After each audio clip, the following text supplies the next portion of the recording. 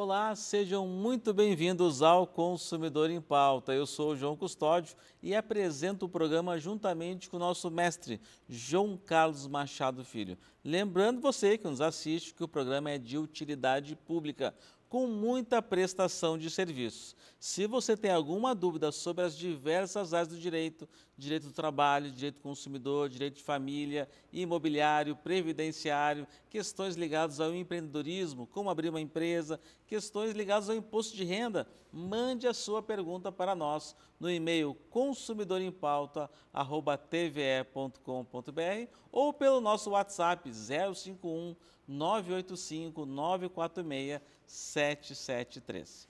E hoje vamos falar sobre direito de família e sucessões. E quem está conosco hoje aqui é uma advogada especialista no tema, doutora Rafaela Barros. Seja muito bem-vinda. Muito obrigada, João. É um prazer estar aqui hoje, sendo entrevistada por, pelo senhor. Então tá, muito obrigado. Então vamos lá para a primeira pergunta já para esse esquento, que é a telespectadora Cristiane. Ela fala o seguinte: sei que o meu ex está ganhando bem Posso pedir a revisão do valor da pensão? Como, com o que meus, meus filhos estão recebendo está muito difícil. Doutora Rafaela, é possível, ele pode solicitar essa revisão do valor pago? A Cristiane pode sim, em nome dos filhos dela, que provavelmente são menores de idade, né? Solicitar essa revisão da pensão. Essa revisão pode ser solicitada a qualquer tempo, Basta que ela comprove nos autos dessa ação revisional de alimentos que houve uma alteração superveniente à fixação primitiva desses alimentos. Então, sim, é possível e, inclusive, ela deve fazer isso, né, sendo guardiã aí dos filhos, a, provavelmente a principal responsável por essa criação, ela deve comprovar que houve esse essa majoração alimentar, seja porque houve uma majoração no próprio salário do genitor, seja por qualquer outra razão que comprove que houve aí um aumento das capacidades financeiras desse pai. Doutora Fernanda, assim, ela pode pegar assim, a pessoa está viajando para o exterior, está publicando nas redes sociais, está com um carro novo, ela pode pegar essas outras evidências, já que ela não tem, às vezes, o, o contra-cheque da pessoa para consultar? Sim, ela pode pegar essas outras evidências, esses indícios, né, de que são os chamados sinais exteriores de riqueza. Então, tudo isso, a forma como esse genitor passou a viver, né, ou está vivendo, talvez até com uma nova família ou não, isso tudo entra para dentro dos autos. Mas ela fala aí que só sabe que o, o ex dela está ganhando mais e que os filhos estão necessitando, né? As necessidades, até porque é normal que as necessidades elas cresçam com o passar dos anos. Ela tem que provar também a necessidade daí.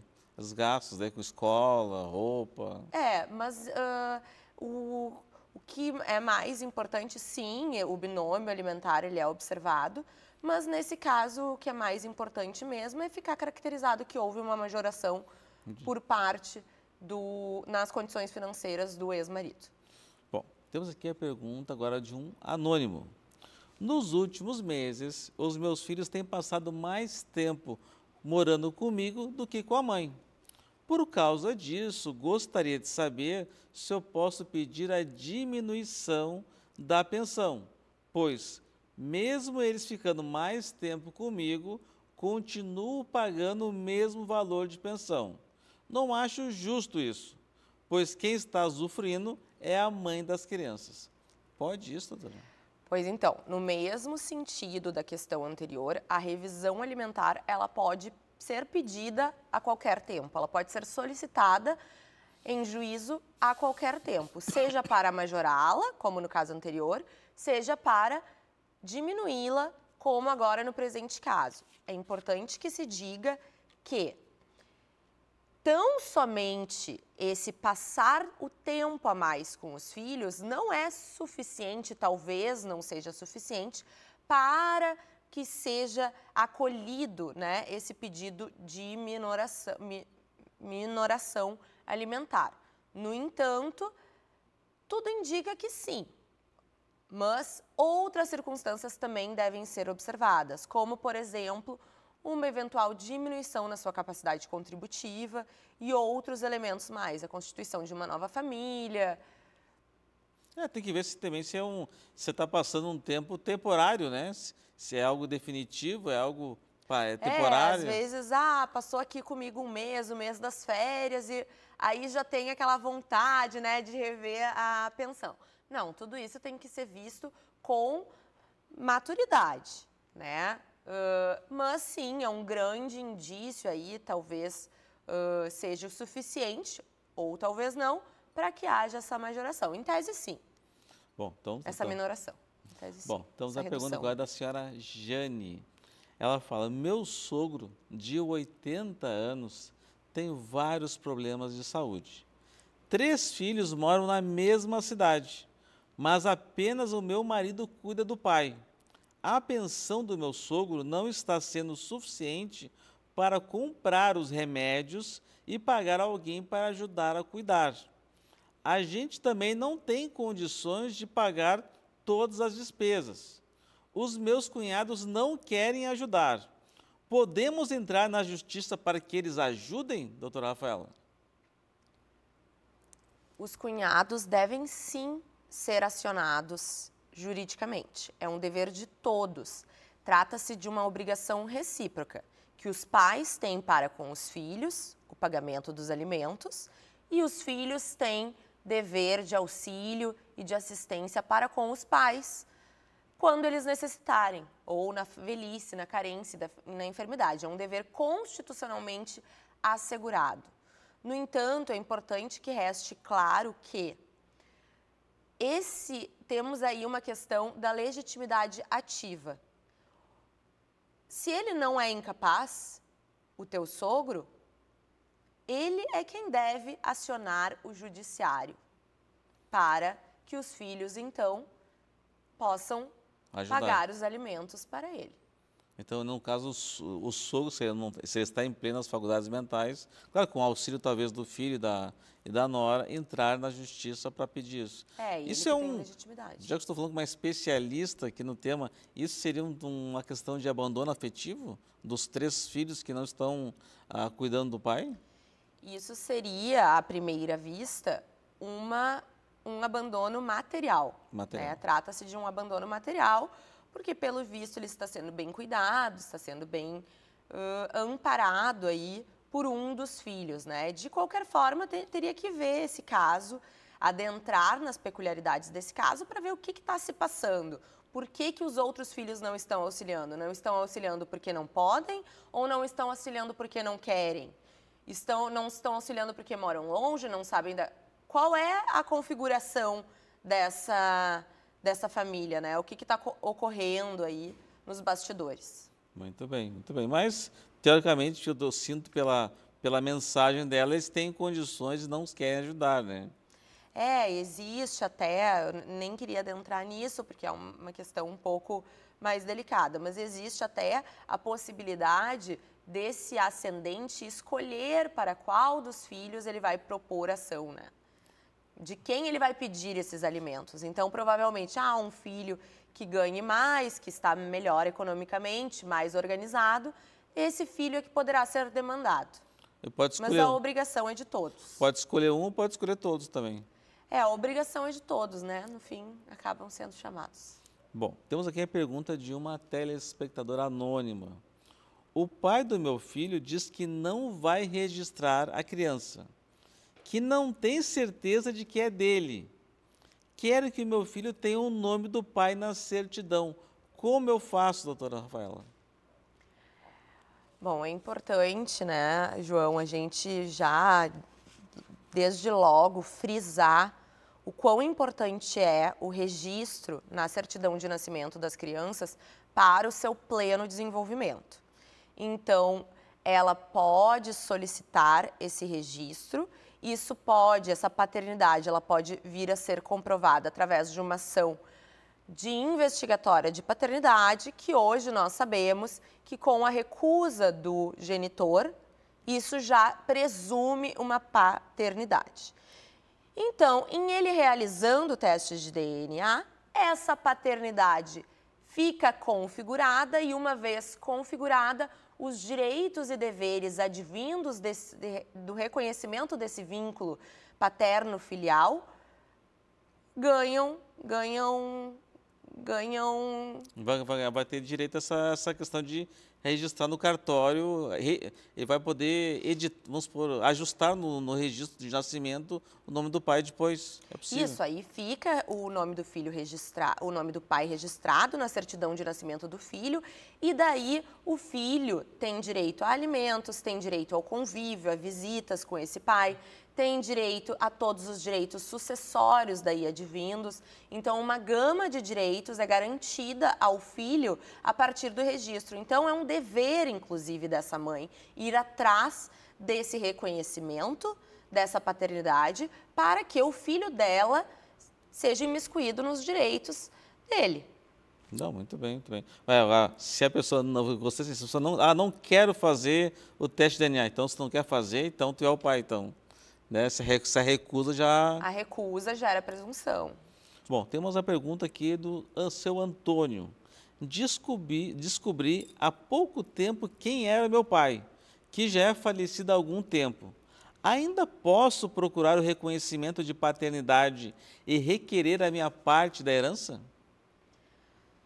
O que o seu Antônio está querendo, né? Qual o desejo dele? Ele quer ver a sua ori ele quer ter acesso, qual é a sua origem genética, né? Esse é um direito e ele é imprescritível. Ele pode sempre ir atrás da sua origem genética. Isso pode ser feito através de uma ação de, investiga ação de investigação de paternidade pós-mortem, né? Depois do óbito.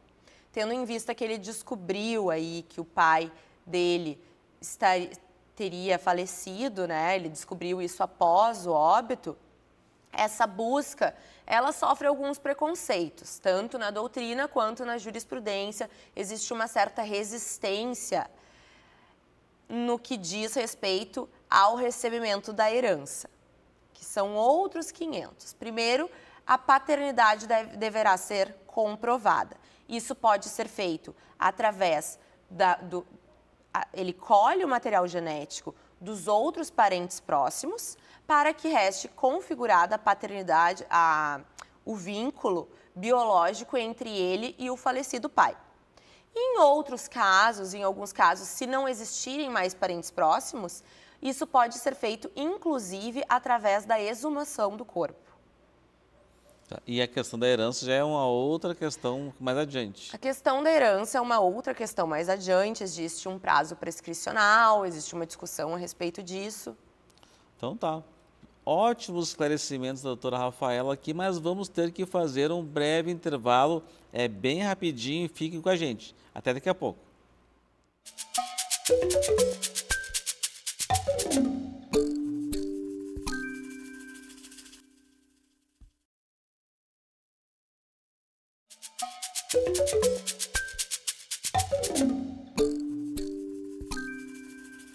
Bom, eu falei que era bem rapidinho, já estamos de volta. Lembrando você que nos assiste, se tem alguma dúvida sobre as diversas áreas do direito, direito do consumidor, direito do trabalho, família, ah, previdenciário, imobiliário, questões sobre imposto de renda, questões sobre empreendedorismo, mande a sua pergunta para nós no nosso e-mail consumidorempauta.tve.com.br ou pelo nosso WhatsApp 051 985 946 773. E hoje estamos falando aqui sobre direito de família e sucessões. E quem está conosco hoje é a doutora Rafaela Baus, que está esclarecendo todas as dúvidas dos nossos telespectadores. E já vamos para a nossa primeira pergunta do bloco, que é da telespectadora Aurora. Meu marido entrou com um pedido de divórcio porque encontrou uma outra pessoa. Me disse que eu não vou receber pensão, que eu não tenho direito a nada.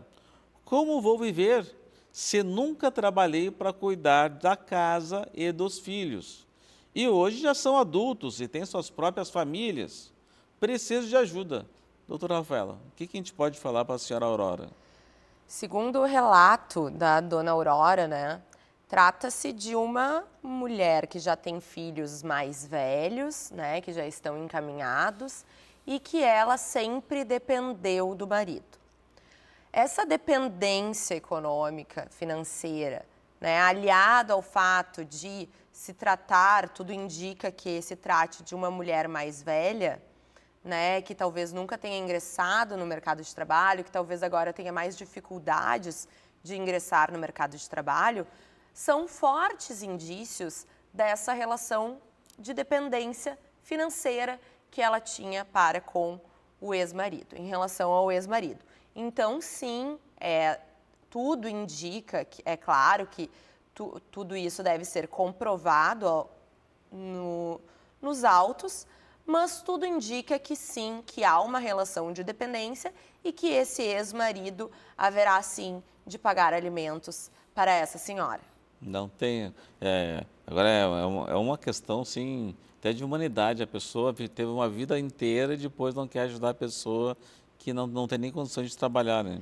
É, o divórcio, né? Ele é um direito potestativo. Então, é direito dele querer se divorciar, mas ele tem sim uma obrigação, tanto se não, se não é afetiva, né? Ele tem uma obrigação ética, um dever ético e um dever de solidariedade e um dever sim de alimentos para com a ex-companheira que ficou provavelmente tanto tempo ao lado dele e que hoje já é mãe e se encontra sem trabalho.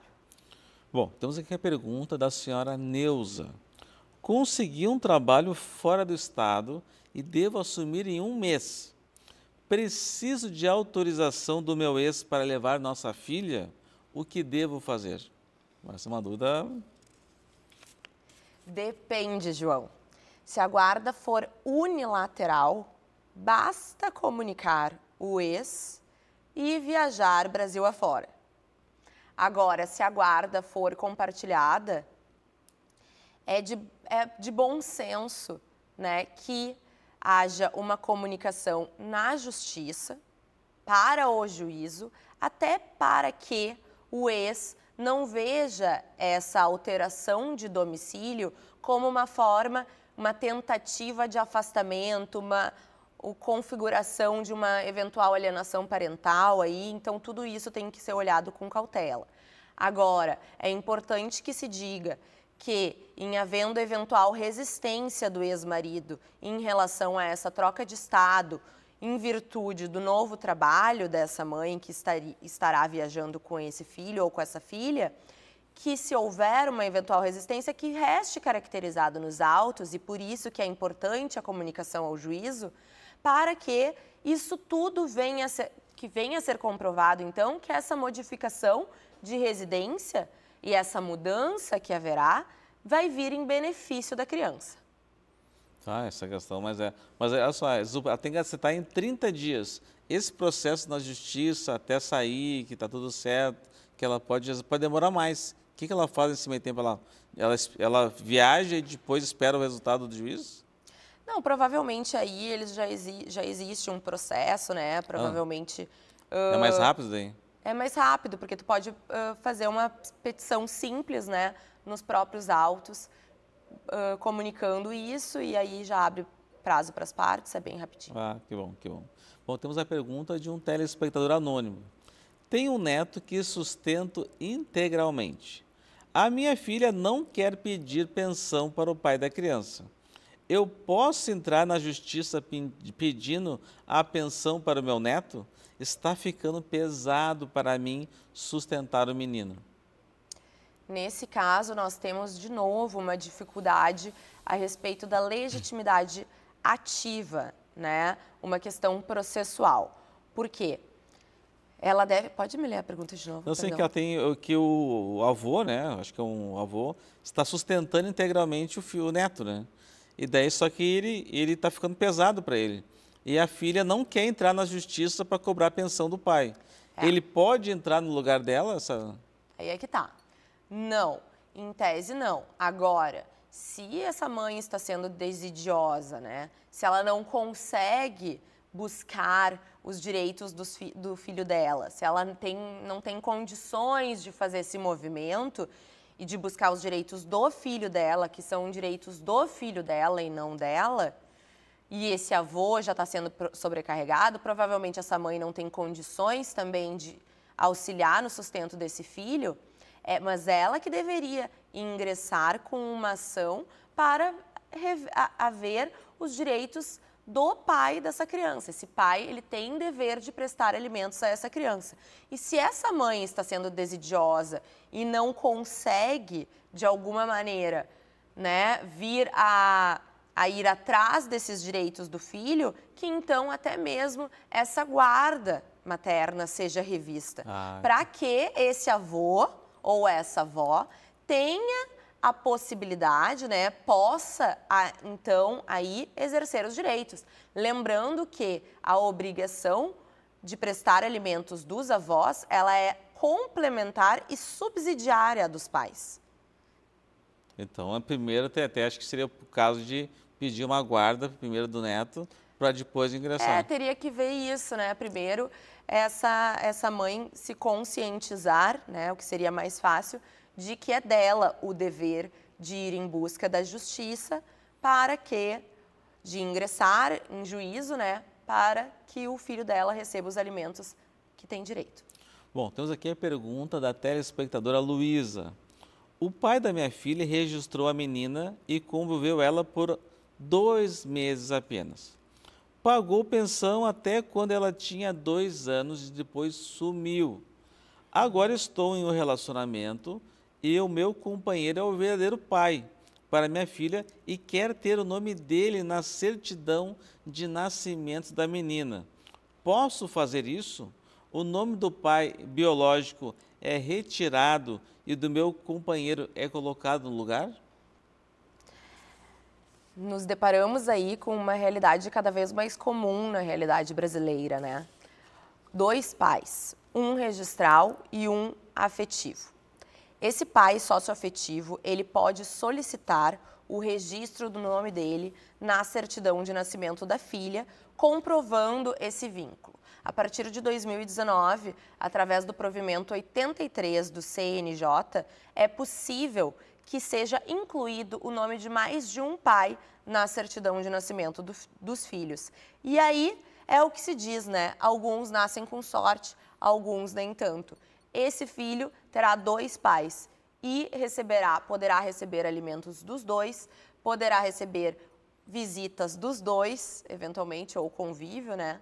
E todos os direitos sucessórios também depois dos dois. Isso é uma novidade, 2019 é relativamente recente, né? Sim, recentíssimo, né? E cada vez mais a gente vê casos assim de famílias recompostas, né? E, e como é que a gente vai tirar o, o direito dessa criança? Não se, não se exclui o registro do primeiro pai. Ela tem dois pais, ela tem o pai registral e ela tem direito de permanecer com esses dois pais no registro dela. Essa é a história dela. Não se exclui o nome de ninguém. Muito bem. Temos... Uma coisa que é importante que eu que é importante que eu salientar nesse, nessa pergunta para a nossa telespectadora é que esses alimentos que foram pagos pelo pai registral até os dois anos de idade da menina, se tiverem sido, se foram fixados pelo juízo, eles podem, todo o somatório dos alimentos não pagos podem ser reavidos através de uma ação de execução. Ah, muito bem. E tudo isso aí vai, vai, vai acumular. Se ele tiver um bem, vai, não tem dinheiro, vai ter que vender o bem para pagar esse valor dos atrasados. Exatamente. Muito bem. Então, aqui é a pergunta de uma telespectadora anônima. Minha mãe deu uma casa para o meu irmão morar com a companheira. Eles ficaram juntos por dois anos e tiveram um filho juntos. Agora se separaram. Ela tem direito sobre a casa que a minha mãe deu para eles morarem? ela não tem direito sobre a casa que a mãe deu para eles morarem. Por quê? Porque se presume que essa união estável, que sobre essa união estável incida o regime da comunhão parcial de bens, equivalente ao casamento. Ou seja, os bens adquiridos, né, por mediante doação ou herança, eles não comunicam. Então, essa companheira não terá direito à casa que a mãe da nossa telespectadora deu para o seu irmão. Muito bem, ótimos esclarecimentos. Queria agradecer a doutora Rafaela pela sua excelente participação e agradecer a nossa qualificada audiência. Muito obrigado pela audiência. Até mais. Tchau, tchau.